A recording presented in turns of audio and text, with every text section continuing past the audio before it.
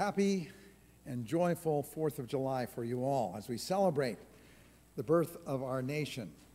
I think it was uh, Lincoln, in fact, I know it was Lincoln, that talked about four score and seven years ago. Now it has been 12 score and five years.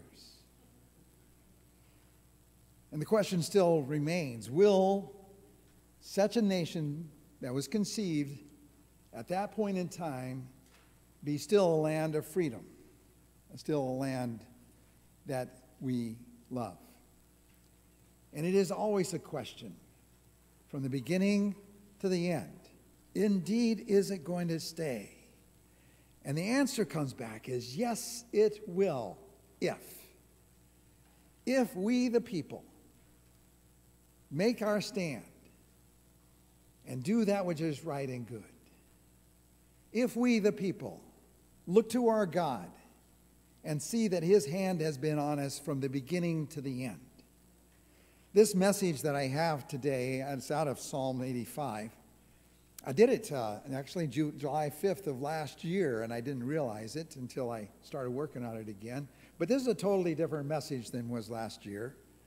A lot of things have happened since then. We were in the middle of COVID back then, and now we are now where we are, wherever that is. But we have an opportunity to transform this country by keeping it according to its original design by men and women who are willing to sacrifice their lives in order to have free lives. The psalm that we have today is out of Psalm 80, verses 3 and 19 are both exactly the same. It says, O God, restore us and cause your face to shine upon us, and we will be saved. If God shines his face upon this country, it will be saved. And if we are restored, to that which we need to be, then indeed we shall be saved. Let's go to prayer. Father, thank you for this day. Thank you for the celebration that we have. It's not often that we have the 4th of July on Sunday. Once every seven years is probably the average. But anyway, Father, we thank you that it is today and that we have this opportunity to settle our mind and heart and soul to seek after you and to love you with all of our heart, all of our soul, all of our mind, everything that we are and to look to you to bring healing to this nation of ours, to bring the divide that has come upon us and unite us together again. We've seen, even in our short history as a nation, times when the nation has been divided but has been brought back together again. We ask for that again today, Lord, that we become those who are faithful that are continually seeing you in everything that we do and say, and see your hand of mercy upon this country, and see the resources that you've given to us and the use of those resources to do good. Father, I do pray for this country. We all pray for this country, that we remain good. And the only way that we can do it is if you do it in us, O Lord. Our eyes are upon you to restore us our hearts are towards you in order that we may love you and glorify you and honor you. And we are blessed, O God. Thank you for this country. Thank you for our faith in you. And thank you that we are able to have, even today, freedom of expression, freedom of our religion, freedom to love you with all of our heart. Thank you, O God. In Jesus' name we pray. Amen. This is a prayer for a nation out of Psalm 85. Now, I understand when you're in the Old Testament, when it talks about the nation, it's talking about the nation of Israel, a nation that has God's people in it. But even there, all the people were not of God. Not all the people that had the name of God were actually God's. We have the opportunity to understand that in our country. Though it has been founded on Christian principles, we have many that are saying, oh, no, it wasn't. All the founding fathers were deists or atheists or this or that and the other thing. They can say anything they want because nobody can go back and ask, were you or were you not? they are safe in doing that. But we know from history that they were men of faith. And so when we come to this, we remember out of Second Chronicles 7 13 through 14, it says, And if my people who were called by my name, now, that was speaking to the nation of Israel, but it is now no longer that way because Jesus has come and his name has gone throughout the world. And this can be taken by any country, whatever is upon the face of this earth that has God's people in it. The God's people in that place can claim this verse. And if my people who are called by my name humble themselves and pray and seek my face and turn from their wicked ways, then I will hear from heaven, will forgive their sin and will heal their land. Here's the call that God gives to every one of us who believe that Jesus is the Christ, the Son of the living God. That we have an opportunity to bring healing to this land. Not that we heal it, it is God who heals it. But if we are the people that God has called us to be, then we are able to grab a hold of the truth and do something with it that is absolutely wondrous. We can bring healing to this land. It's amazing. We need to be audacious. Now, Psalm 85 may be a little premature for us in the sense that they had a long history of God in their lives. They saw God work miracles after miracle after miracle. They saw that they turned away from God over and over and over again. And then they saw that God healed them as they repented of their wicked ways and turned to Him, that healing came. How many times did the nation of Judah lose everything that they had by some invading king, only to have more wealth than they had before after they had turned to God? They had that history. We may be premature. We're only 245 years old as a country. But we have the same God. We have the same God. It depends on who we have faith in. In faith in Jesus, then victory is certain for us. I'm going to take the verse that we're going to center on all the way through this. It's actually the prayer.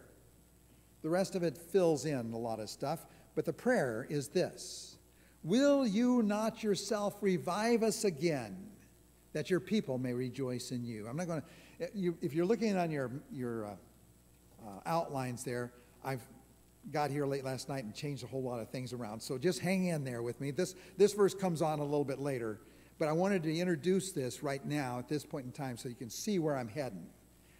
This is it that God, if you will revive us again, how many times have they said this?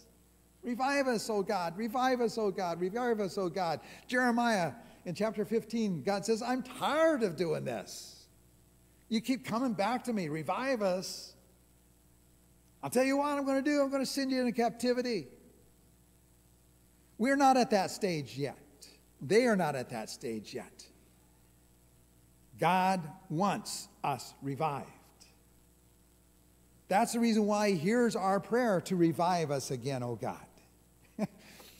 you know, the thing is, I, I put that, that call to revival. I don't know how many months, weeks that we've been going with the call to revival. And I asked the group that sings for you every morning, the, the worship team, I asked, when, when do I need to stop doing that? And they said, when we have revival. Now's the time.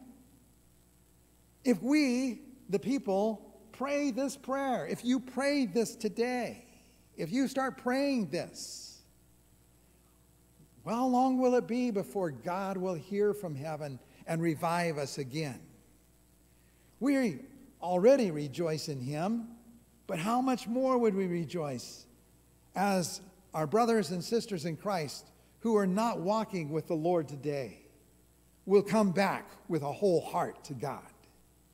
It's happened in the past. I've talked about the revival of 1905 that happened in Wales.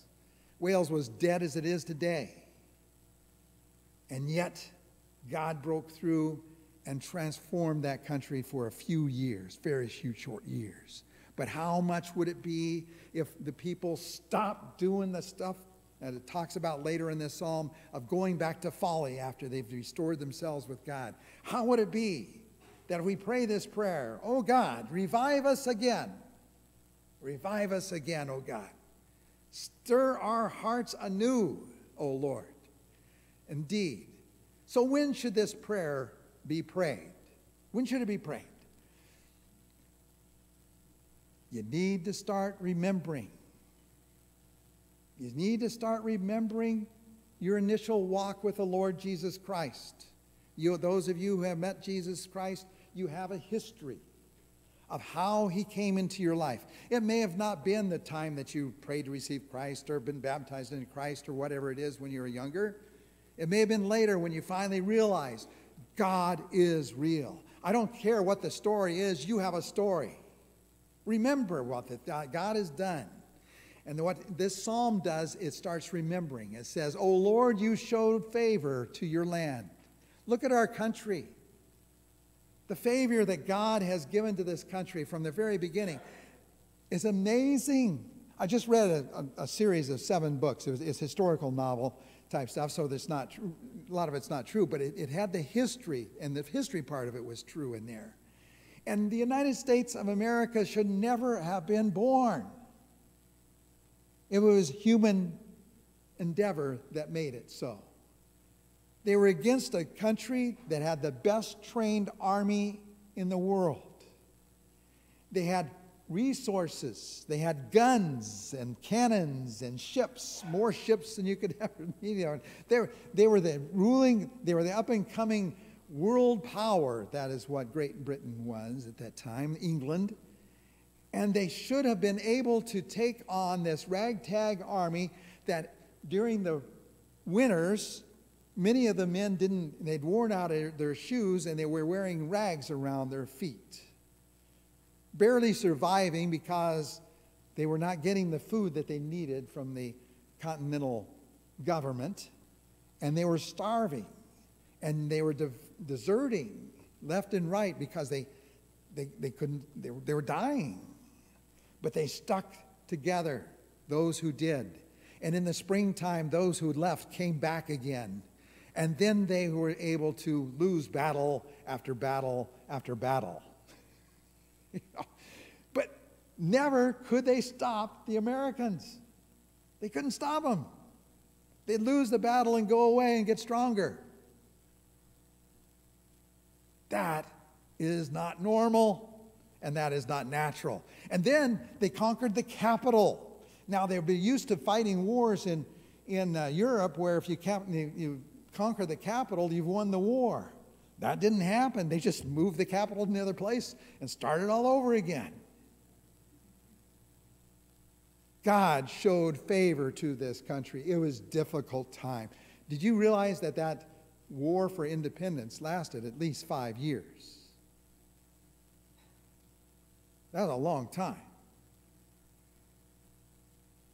And finally, the Yorktown occurred, where they won that battle. And that pretty well sealed it. Europe, England was tired. The parliament was against the war. Finally, the, the king had to stop. He lost 7,000 men to captivity at that point in time, and they just quit. The peace treaty hadn't been signed yet, but the war was over at Yorktown. That's amazing. Amazing what God did. And then this fledgling country winds up back in war with England again in 1812. The most amazing battle that was fought was fought by Andrew Jackson down in New Orleans. And it was a totally wasted army uh, action, but the United States of America sent those guys a pack. And remember the song? They were powdering the behinds of the gators, and the, when they fired off the cannon, the Gator Cannon. The Gator lost his mind. You remember that song? It was, it was actually fought after the peace treaty had already been signed. They didn't have internet back then. So they, they went ahead and fought the battle anyway. And the United States was established, solid. And here we are, 245 years later. God has certainly showed favor to our land. It is amazing. You restore the captivity of Jacob. Psalm verse 2, it says this You forgave the iniquity of your people, you covered all their sin. There's a lot of talk about how much this America of ours is wrong, how much wrong is in America. You know why there is wrong in America? It's because we're human. It's not because we're black, it's not because we're white, it's not because we're green. Well, we're not green. But nevertheless, it's not because of any color of our skin. It's not any of that. We all have red blood. We're all come from the same Father. We always say it's all there, but we are sinners. The reason why God continued to bless this country is not because we became righteous and holy. It is because he forgave us. The iniquity and the sin in our lives. He is the God who is able to do that because he is both just and the justifier. He is just as a God because he is always righteous and holy. You cannot stand before him in your sin. You will be a crispy critter if you do. It ain't going to happen. He is just. He'll always be just. So, how do we stand before him? Because he sent his son to justify us, to make it so that we can stand before Him, so that He can forgive us and cover all of our sin with the blood, the precious blood of Jesus Christ, who shed His blood for you. He who was righteous and holy and never knew any sin became sin and received in His own self the full wrath against our sin. That is the reason why this country can stand. And that is the reason why, even if we were defeated economically, defeated any other way, militarily, whatever way it may have been, we would still be able to turn around, just like the nation of Israel, and turn around and be blessed all over again and become better than what we were before because we have a God who forgives our sin. If we would repent, if we would turn to Him, Revive us again, O God. You revive us. Amazing. You withdrew all your fury. You turned away from your burning anger. So we need to fall again before God and say, God, do this. Restore us, O God, of our salvation, and cause your indignation toward us to cease. We need to call our nation to the place of saying, God, restore us in our faith and our trust. You hear our leaders in the past as we faced uncertain days, it be whether World War I, World War II, or any other conference difficulty that we may have faced conflagration. There we go. That's the word, I guess, I'm thinking. Well, but any type of situation, our leaders call upon God. Call upon God. They may not even know Him as well as they ought to know Him, but they know who they need to call upon, and that is our God. Restore us, leaders, that will call upon you freely, O God, and not be like some that are in the Congress now that says, don't bring God into this house. It has nothing to do with us.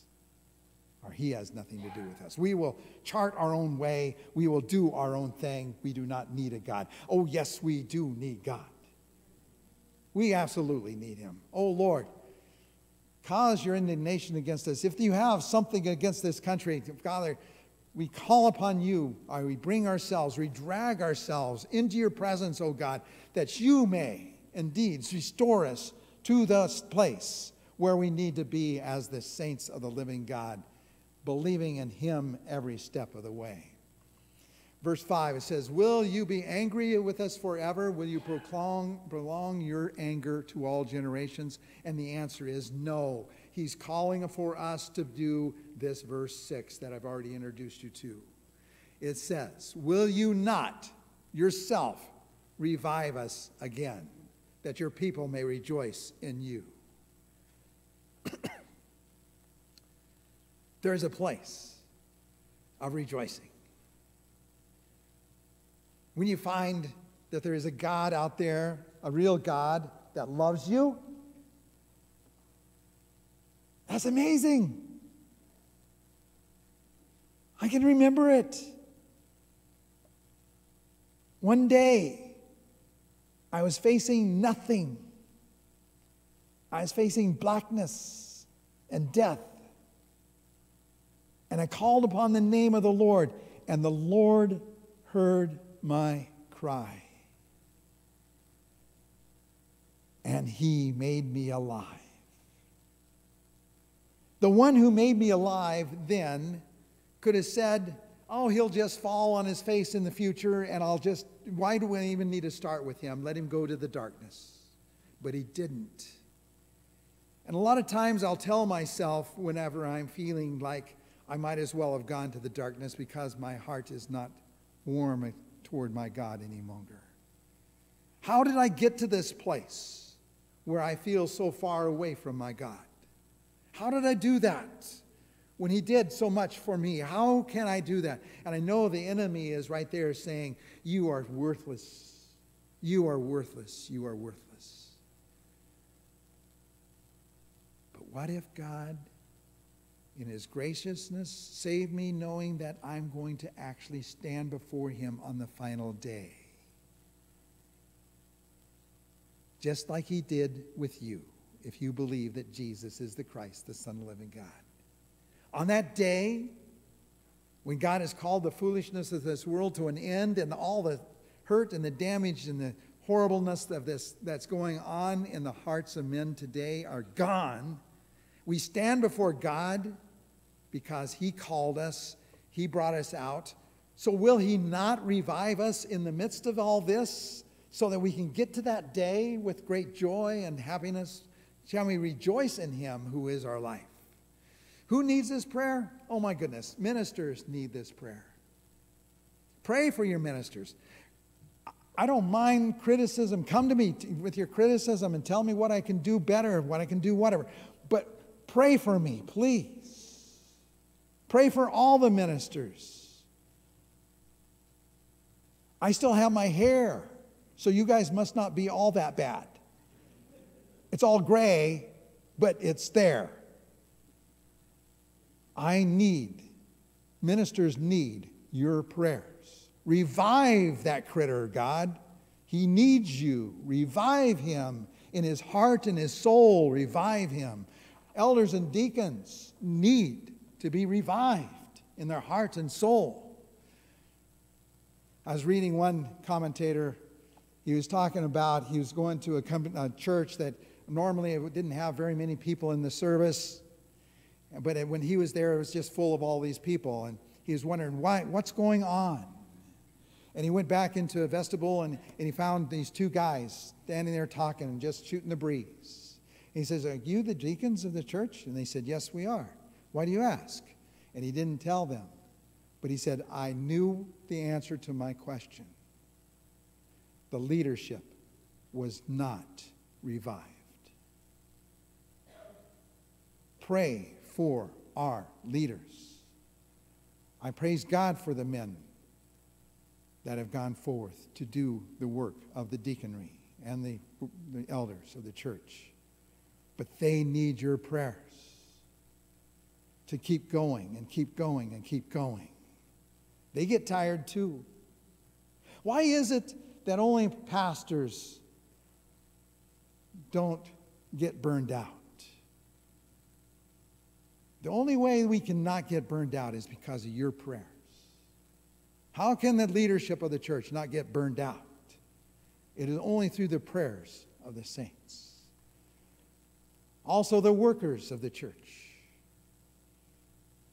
doing the work that they do over and over again. In our church, oh, I wish we had a church that we could split into two services, that one, people could always go to a service, but no, we don't. And we've had people that have served your children faithfully year after year after year.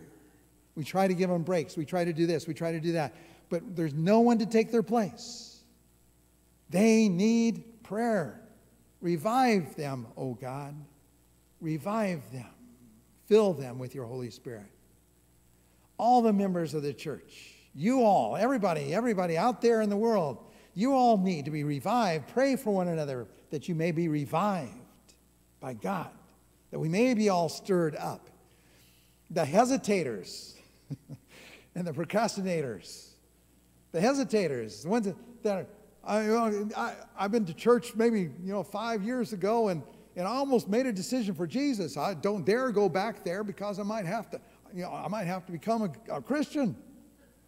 Pray for them. Oh God, revive them, restore them up, that they may know that there is life in you and that there is a place of service that is glorious. The procrastinators, that went, oh, well, I'll, I'll get to it someday. I've got to do this and this and this and this and this. Oh, Lord, revive them that they may know that setting off and putting off serving our God is not a thing to be done because that's not where the rejoicing is and that's not where the love of God is. Do that. And then we need to be praying for our country. Oh God, revive our country. Revive it. Restore it. Make us strong. Make us vital. Make us focus on you, oh God. Let's stop our bickering and and fussing about things that do not matter and find that our life is in Christ and only in Christ. He is the Savior of mankind. There is no other name given in heaven and earth that men may be saved other than Jesus Christ, our Lord and Savior. He is the way, the truth, and the life. No man comes to the Father but through him. Oh God, our nation needs that message out there, and they need to be revived.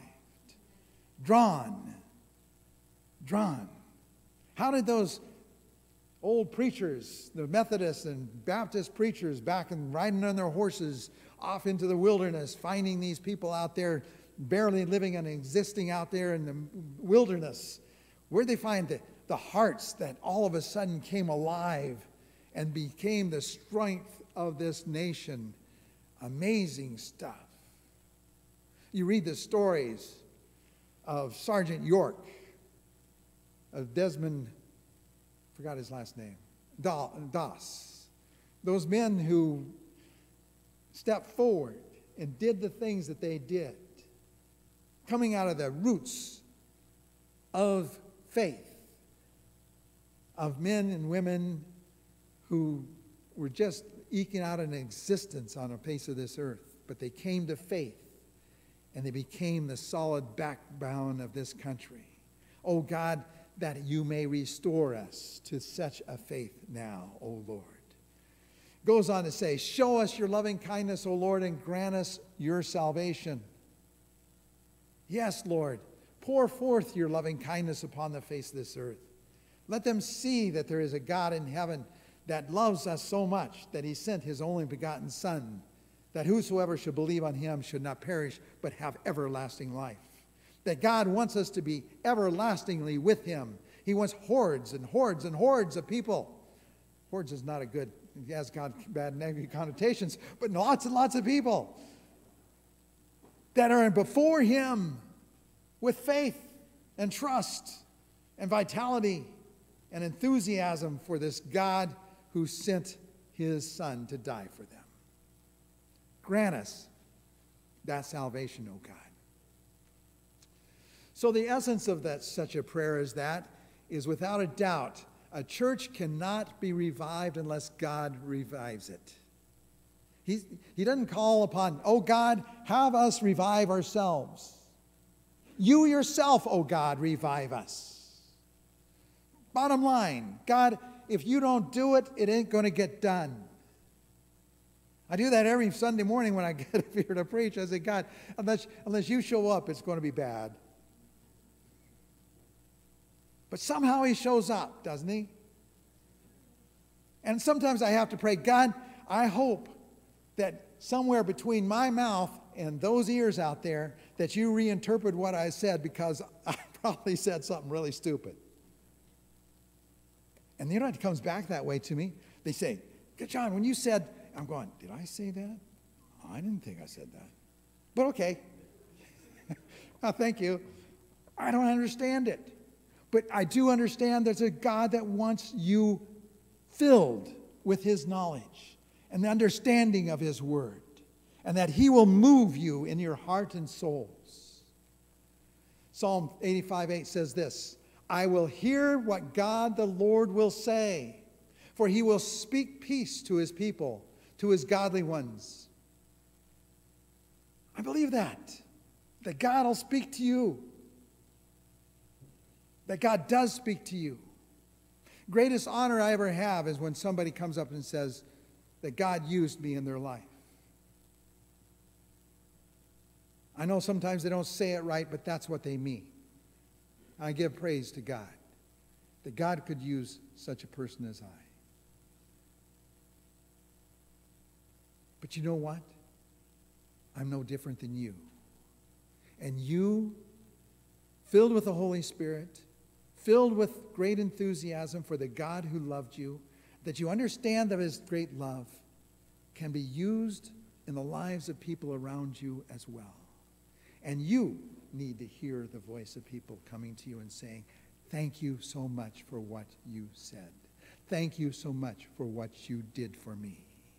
We've got people that serve this congregation that you don't ever see. We have this benevolence committee that meets and they, they work hard to meet the needs of people.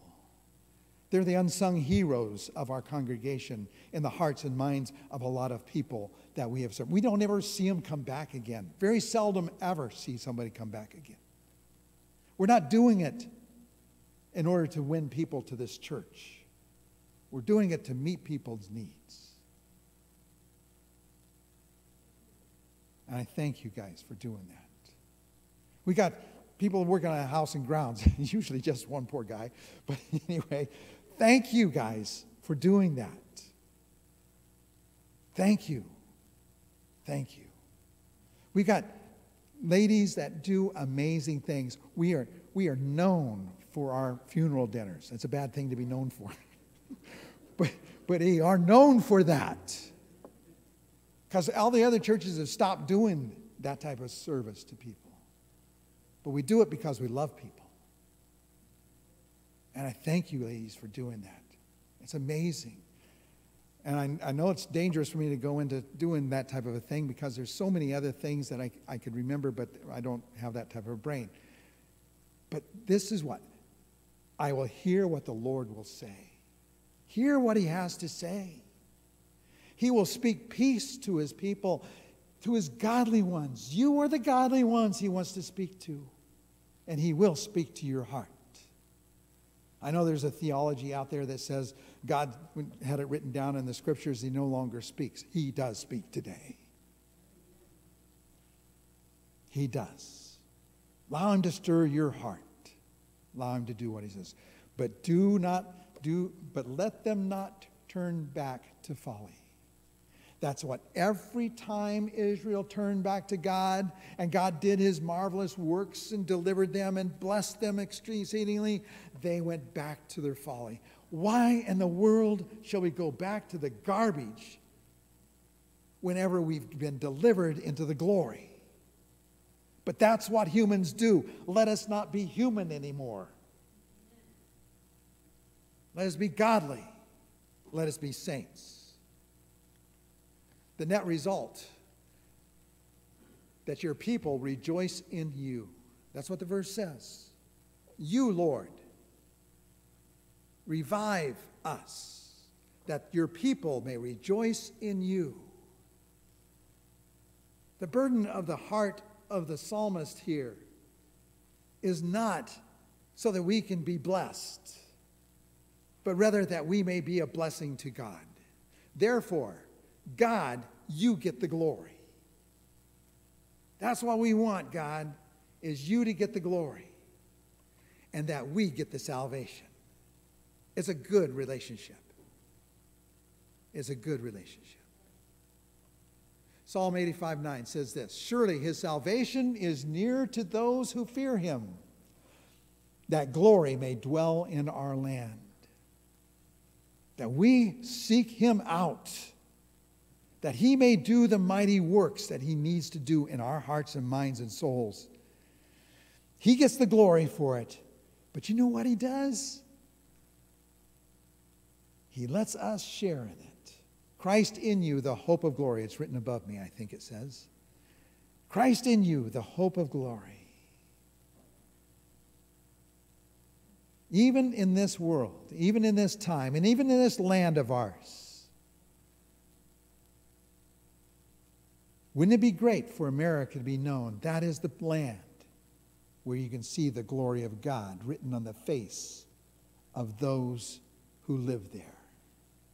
They know that they're there by the grace of God.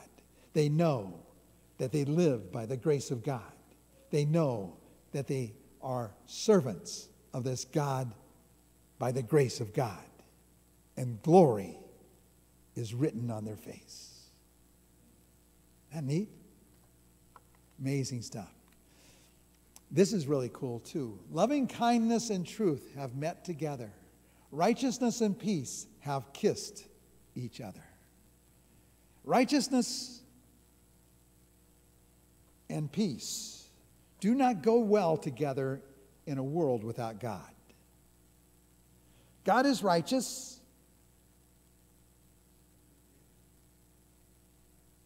And he wants us to all have peace. But if we do not have God, we will not have peace. For we will be staring down the face of the righteous God who exists in heaven. But God has given us a mediator, one who stands between an angry God and a stupid people. Our Lord and Savior, Jesus Christ. But we don't have to remain stupid. We can come back to God and have the peace of God that reigns in our heart. We have that peace of God through our Lord Savior Jesus Christ. Do you not know that? Romans chapter 5. Therefore, we have peace with God through his grace. And they have kissed each other. In our faith in Jesus, it has kissed. It is glorious. Verse 11 Truth springs from the earth, and righteousness looks down from heaven.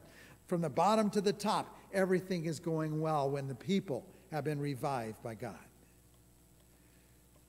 Indeed, the Lord will give that give what is good, and our land will yield its produce. There, there's parts of our country now that are suffering greatly. In Montana, it hasn't rained for a long time. I remember a drought in the times past that a place called Malta, Montana, that the crop that they had up there yielded five bushels to an acre. It's going to be that bad this year, if not worse, over a larger period of place. Our God wants this place to be fruitful. God wants us to be fruitful. And here we go a land that is revived, restored, back to God, is blessed. The crops will come in, the rain will come in. Who knows? The stupid heat that is afflicting this country of ours in the Northwest will be abated. I learned that from a song, Rick, where Rick, Rick, Rick, Rick is there back there, uh, a song that he had for us. Is zeal abating? Is it disappearing? Is it falling apart? No. Our God is there. He will once again bring healing to this land, and our land will be able to be fruitful. Remember the Dust Bowl years. You have to know that God was doing something, allowing something to be done when you have Dust Bowl years starting at the exact time as the Depression, at the, right before a major world war. God was doing something, and He raised up what is called the greatest generation. Those people were changed. Where this country was going in the roaring 20s was not good, and it changed. 1929, it started changing. God had something for this country to do yet. God still wanted to do a mighty work through this country. And I don't think God is finished yet with this country. Do you? So let us call out to God Revive us again, O God. Revive us again. Verse 13 Righteousness will go before him and will make his footsteps into a way. A footsteps to the It's amazing, isn't it? I was up in Montana one time. I was cross country skiing. The snow was about four feet deep that I was skiing on. Going along there, come to a tr- trench, is what it was. It was about three feet wide, and It was down all the way to the ground. It was this trench right in front of me. Where in the world does trench come from? Out in the middle of the snow. Did somebody get here their little shovel and shovel it out? No. What it was is I looked over and there was about 300 elk off under the bushes over, over the other direction. And what happened, I know what happened, is one bull elk said, I'm going over there and you guys follow. And he started going. And he made the first trek. And then the other elk followed in the same path until that whole thing became a trench that they were able to go through. We follow our God. He is forging the way. And if we will get our steps, our footsteps in His footsteps, through whatever snows, whatever darkness, whatever difficulty there may be, we will be safe. Now, I was in my cross country skiing, I had to cross over that to get to where I was going. Not easy to do. It was fluffy snow. I wound up up to here in snow because I kept on trying to go up the hill and I kept sliding back. If I was in the trench, I wouldn't have any problems. Let us get out of the difficulty and get into where we need to be. Following after a God, calling upon Him and praying, praying this prayer Oh God, oh God, do indeed do your work in us. It's amazing. Spurgeon had a prayer at the end of one of his, his sermons that I was going through that I thought was appropriate for us, that we pray this together today. He says, and you can do this in your own heart Lord, revive us again. Lord, revive me. Would each one of us say amen to that petition? Lord, revive the pastor. Lord, revive the church officers. Lord, revive the workers. Lord, revive the members of this church. Lord, revive the backsliders. Lord, revive those who did not seem, do not seem to live, but have grown careless. Lord, revive the church at large throughout the whole earth. Spirit of revival, come upon us now for Jesus Christ's sake. Amen. Father, I do thank you that we have the Word of God that is before us. And we thank you that we have given us a country that has so many resources, so many blessings, so many historical events that have happened in the past that we can look back to men and women who have given their lives and done things, great things for you. And we want to emulate that, O oh Lord. We want to follow in the footsteps of our Lord and Savior Jesus Christ. Revive us again, O oh God. Revive this church. Revive your church throughout all this land, throughout all the lands. Let us make a clear statement to the world around us that there is a God in heaven and he has sent his son Jesus to us to save us from the darkness. Let us be that voice to the world around us. Let us do it here in this church, but let us do it in our neighborhoods. Let us do it in our workplaces. Let us do it where we may be vacationing, whatever it happens. Oh Lord, let us be the people that are revived people. We thank you. In Jesus' name we pray. Amen.